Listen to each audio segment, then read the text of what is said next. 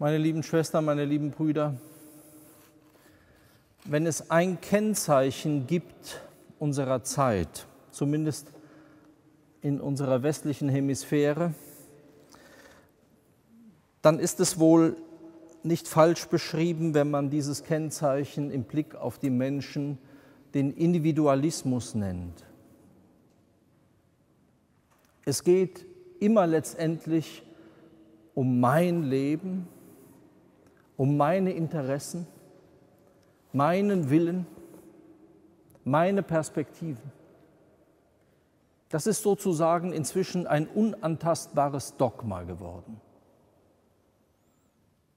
Das Ergebnis davon ist, dass wir überall dort, wo es um Gemeinschaft geht, also wo es nicht um die Durchsetzung der Interessen und den Schutz des Individuums geht, so wichtig das auch sein mag, dass wir überall dort, wo es um Gemeinschaft geht, Zersetzungserscheinungen erleben. Wir sehen das überall, in der Familie, in Freundschaften, in jeder Art von Beziehung, in der Kirche, in der Gesellschaft. Und es scheinen Gegensätze zu sein und Interessenkonflikte, die unüberbrückbar erscheinen. Unser Evangelium heute wählt einen anderen Ansatz, eine schrittweise Folge. Und es ist sehr spannend, ich will Sie damit heute Morgen nicht quälen, aber es ist sehr spannend, die Auslegungsgeschichte dieses Evangeliums anzuschauen. Denn eine sich modern nennende Exegese hat dieses Evangelium schnell einsortiert und sagt, das hat Jesus eigentlich nie gesagt. Weil da ist ja von Kirche oder von Gemeinde die Rede. Das hat ja Jesus gar nicht gewollt. Und damit macht man Jesus zum Patron des Individualismus. Am nächsten Sonntag werden wir ihn hören, wenn er auf die Frage des Petrus sagt, ja, aber Herr, wie oft muss ich denn meinem Bruder vergeben, wenn er sich gegen mich versündigt? Siebenmal? Jesus sagt nicht siebenmal, siebenmal, siebzigmal. Wir sehen aber hier deutlich den Unterschied und den Zusammenhang, was man dem Einzelnen zumuten kann an Vergebungsbereitschaft das ist der Gemeinschaft noch lange nicht zuzumuten. Und wir haben es hier, dass Jesus ganz zu Hause in der jüdischen Auslegung seiner Zeit mit einer Auslegung des Liebesgebotes zu tun. Während unsere modern sich dünkende Exegese schnell davon spricht, ja ist doch klar, da wird schon die Exkommunikation vorbereitet, weil wie die das dann, dann jahrhundertelang gemacht haben. Hier geht es um eine Auslegung des Liebesgebotes zu Levitikus und Deuteronomium. Wie kann Liebe konkret werden? Nicht indem seid umschlungen Millionen, das ist ein billiger Slogan, das kann man schnell sagen und ebenso schnell vergessen. Es kostet mich nichts. Liebe zeigt sich im Umgang mit Konflikten im Umgang mit denen, die schuldig werden. Und das kann jede und jeder von uns sein. Es ist ja nicht so, als wäre das nur eine ganz bestimmte ausgesonderte Gruppe, die ein bisschen spinnen. Wir alle können davon betroffen sein und wir alle profitieren dann davon. Zurechtweisung unter vier Augen. Ein Schutz für den und die, die sich verfehlt. Nicht das Zerren in die Öffentlichkeit, nicht das öffentliche Bloßstellen ist der erste Schritt. Und wir sollten heute gut darüber nachdenken, dass es schwierig ist, diesen Schutz einzuhalten. Denn oft ist es ja so, dass die, die meinen, ihnen geschieht Unrecht oder die unbedingt ihren individuellen Spleen, der dann oft ein Vogel ist und mit dem Heiligen Geist verwechselt wird, sofort in die Medien gelangt.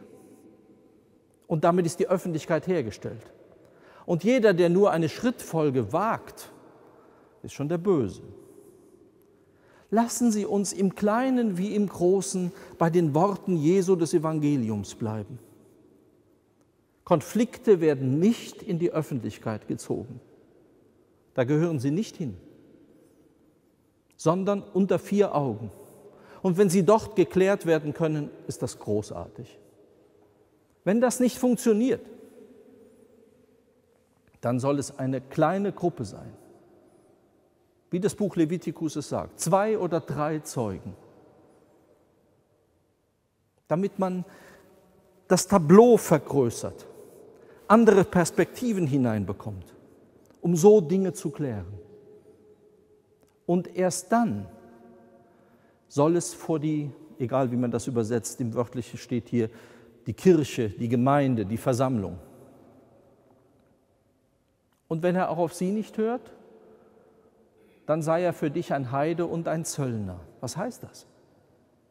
Das heißt zunächst, man bricht die Kommunikation ab, aber Heiden und Zöllner sind uns aus dem Evangelium nicht unbekannt. Wir wissen, dass Jesus gerade in dieser Personengruppe ein unglaubliches Potenzial für seine Botschaft sieht. Umkehrbereitschaft. Und das ist das Ziel. Nicht der Tritt in den Allerwertesten, Tschüss, auf Nimmerwiedersehen, sondern wenn Dinge so verhakt sind, und wir kennen solche Situationen, dann gibt es zunächst einen Kommunikationsabbruch, aber immer mit dem Ziel, jemanden zur Umkehr zu bringen, dass er oder sie zurückkommt. Warum spricht Jesus in seiner Gruppe diese Empfehlung aus? Jesus weiß sehr genau, dass eine Gruppe, die, Jesus will das so, dass eine Gemeinschaft, die missionarisch sein soll, ihre ganze Kraft verliert, wenn sie sich nach innen hin verschleißt in Konflikten. Ist das nicht genau unser Dilemma, das wir auch innerkirchlich haben? Wenn wir immer wieder jeden Tag bombardiert werden mit Wortmeldungen, mit dieser Meinung und jener Meinung und diesem Wissenschaftler und der Theologe sagt das und jener jenes, was denn jetzt? Wir sollten ich weiß, es ist eine schwierige Empfehlung, liebe Schwestern und Brüder, wir sollten eigentlich gar nicht mehr hinhören. Es lenkt uns nur ab. Es lenkt uns von dem ab, was Jesus im Evangelium sagt. Und das allein sollen wir tun. Dann haben wir immer den richtigen Maßstab. Wir sollen uns eben nicht in diesem innerkirchlichen Klein-Klein verschleißen. Und jetzt hat dieser Bischof wieder dieses und der Papst wieder jenes und jetzt ist dieses Rundschreiben da und dann gibt es wieder eine Wortmeldung von das führt alles zu nichts. Wir sollen unsere Kraft sammeln aus diesem Wort des Evangeliums, auch bei Konflikten, um die Kraft nach außen zu haben, um überzeugen zu können, um Menschen dazu, dazu zu gewinnen, dass es ein guter Weg ist, den wir gehen im Glauben, dass es ein Weg ist, der zum Leben führt, auch wenn es Konflikte gibt. Wir sollten eigentlich sehr dankbar sein, dass Jesus das so offen anspricht im Evangelium.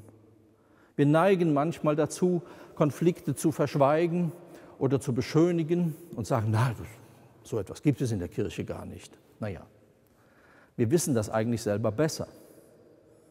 In unseren Gemeinschaften, in den Klöstern, in den Familien gibt es überall Konflikte, weil überall Menschen sind, die auch Fehler machen. Ich sie alle. Gut ist es, dass uns Jesus einen Weg zeigt, wie wir damit umgehen können. Und er sagt es im gleichen Evangelium. Wenn zwei von euch um das Gleiche bitten, wird es mein himmlischer Vater nicht verwehren.